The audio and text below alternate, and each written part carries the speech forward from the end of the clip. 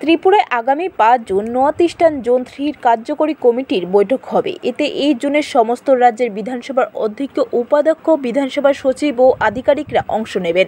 পাঁচ জুন দুপুরে ত্রিপুরা বিধানসভায় হবে এই কার্যকরী কমিটির বৈঠক।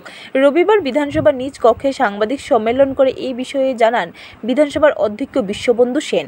তিনি আরও জানান, উত্তর পূর্বাঞ্চলের কোনো রাজ্যে সিপিএর পরবর্তী সম্মেলন হবে তা নিয়ে আলোচনা হবে।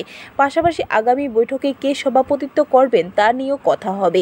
যোগাযোগ ব্যবস্থা, পরিকাঠামো উন্নয়ন, জাতীয় সড়ক সহ বিভিন্ন গুরুত্বপূর্ণ বিষয় নিয়ে আলোচনা হবে। আগামীকালকে আজকে ওনাদেরকে আমরা ত্রিপুরা সরকারের পক্ষ থেকে মাননীয় মুখ্যমন্ত্রী মহোদয় ওনাদেরকে সান্ধ্য ভোজন করাবেন, নৈশকালীন ভোজন করাবেন। আগামীকালকে ওনারা বিভিন্ন জায়গা, আমাদের প্লেস অফ ইন্টারেস্ট যা যা আছে ত্রিপুরাতে মাতার বাড়ি কিংবা আমাদের যেটা নির্মহল ওগুলো ভ্রমণ করবেন। বেলা ঠিক সাড়ে বারোটায় আমরা এখানে এই, আমাদের অ্যাসেম্বলির কনফারেন্স হলে আমরা ওনাদের সঙ্গে সাংবাদিক সম্মেলনে অন্যান্যদের মধ্যে উপস্থিত ছিলেন উপাধ্যক্ষ রামপ্রসাদ পাল, বিধানসভার মুখ্য সচেতক কল্যাণী রায় সচিব। ব্যুরো রিপোর্ট, খবর ত্রিপুরা।